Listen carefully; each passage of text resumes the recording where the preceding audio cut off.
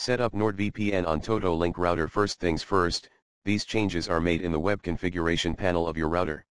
You can access it by visiting the local IP of your router from your web browser.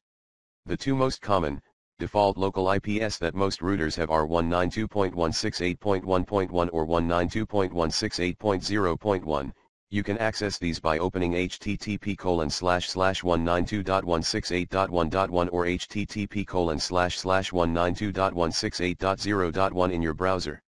The default IP, username, and password are listed in your router's user manual.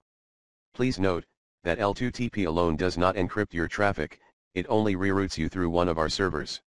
Please use it at your own risk. This does not apply to L2TP slash IPsec. In order to connect your TotoLink router via L2TP connection to our VPN service please do the following, 1. Go to Network and then click on WAN Settings 2. In Type menu please select L2TP slash dual WAN access L2TP3. Type in your NordVPN credentials. 4. Server IP slash domain name address, you can check Nord's full server list here https slash slash nord.com slash servers slash and then use one of the host names for one of NordVPN servers. For example, Netherlands number 37 server would be nl37.nordvpn.com 5. Select DHCP client. 6.